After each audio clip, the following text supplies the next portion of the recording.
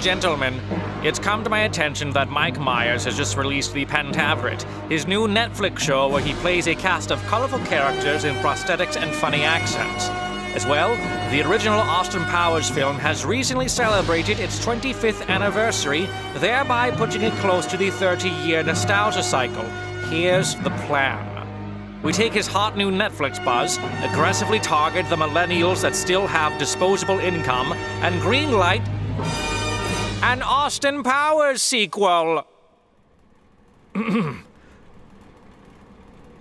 Don't you think you're overestimating how much appeal Mike Myers still has with audiences? He's not the hot commodity he was back in the 90s. I mean, his last lead role on camera was The Love Guru back in 2008, and audiences hated it.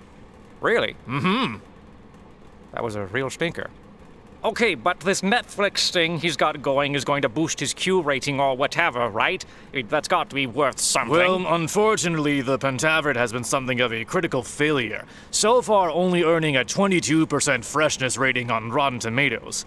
It also hasn't cracked the Netflix top 10 for most English speaking territories. The only market where it has is Canada, and largely only because of their nationalistic attachment to Myers. R- really? Only Canada? Those sad bastards. Yes, it's almost assuredly getting canceled. Wait, but what about the Zoomers? I- have seen the Shrek memes. He- he's still got pulled. Why aren't they well, watching? Well, the thing about that is that Shrek as a franchise is a Shrek franchise, not a Mike Myers franchise.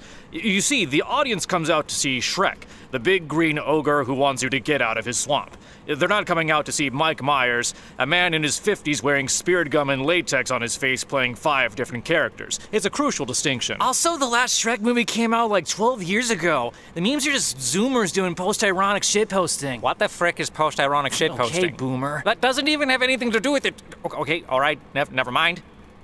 So the Pentaverate's a bust we don't have the Shrek kids, but we've still got the 30-year nostalgia cycle.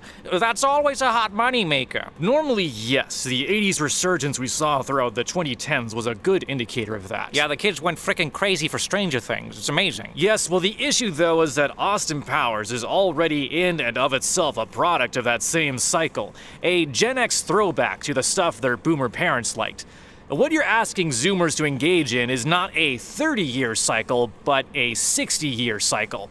Think of it this way millennials lost their minds over that 70s show, a 2000s throwback to the 1970s. But when's the last time you heard a millennial talking about Happy Days, a 70s throwback to the 1950s? Yeah, like all the jokes were about like riffing on old Sean Connery James Bond movies. It, Zoomers don't know about Connery Bond. They know Daniel Craig Bond, and Craig Bond was the response to the Austin Powers movies clowning on classic Bond.